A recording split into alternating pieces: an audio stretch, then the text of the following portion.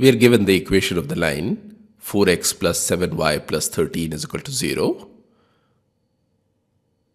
which serves as a mirror for the given point minus 8, 12. Let's denote this point by P. Now the mirror image of point P will lie on the line which is perpendicular to 4x plus 7y plus 13 is equal to 0. And if we denote the mirror image by the point P dash with coordinates alpha beta, then the perpendicular distance of this point from the mirror will be the same as the distance of the point P from the mirror. The given equation of the line can be written as y is equal to minus 4 upon 7x minus 13 upon 7, which implies that the slope of the line is equal to minus 4 upon 7. Therefore, the slope of the line which is perpendicular to this is equal to minus 1 upon minus 4 upon 7, which is equal to 7 upon 4. Therefore, the slope of the line PP dash is equal to 7 upon 4.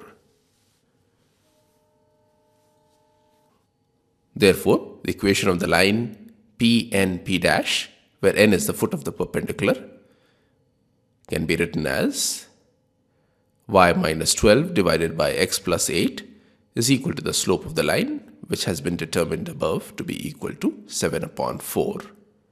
Cross multiplying, we get 4y minus 48 is equal to 7x plus 56. And therefore, 7x minus 4y plus 104 is equal to 0. Now P and P dash, which is the perpendicular, and the given line intersect at the point N. Therefore, the coordinates of point n can be obtained by solving the equation of the perpendicular 7x minus 4y plus 104 equal to 0 and the given line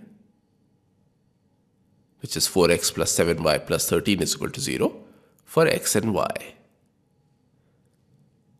Let's denote these equations by 1 and 2 respectively.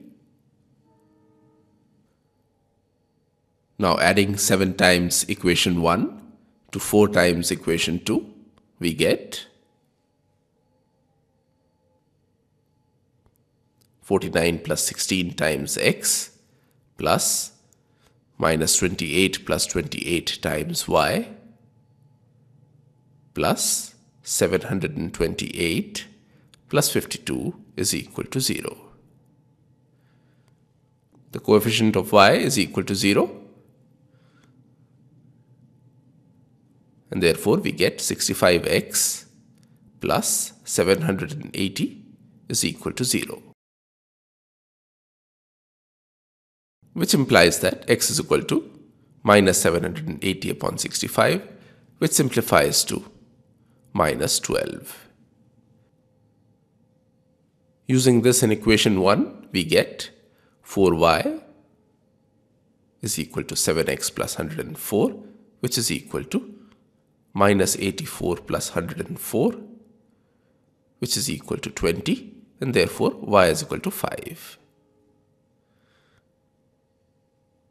Therefore the coordinates of n are minus 12, 5. Now recall that n is the midpoint of the line p, p dash because both p and p dash are equidistant from n the coordinates of p are minus 8, 12 and the coordinates of p dash are alpha, beta.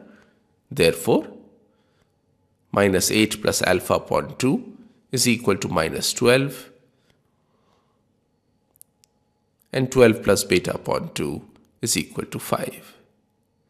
The first equation implies that minus 8 plus alpha is equal to minus 24 which implies that alpha is equal to minus 16. The second equation implies that 12 plus beta is equal to 10 and therefore beta is equal to minus 2. Therefore, the coordinates of P dash, the mirror image, are minus 16, minus 2, which is the required answer.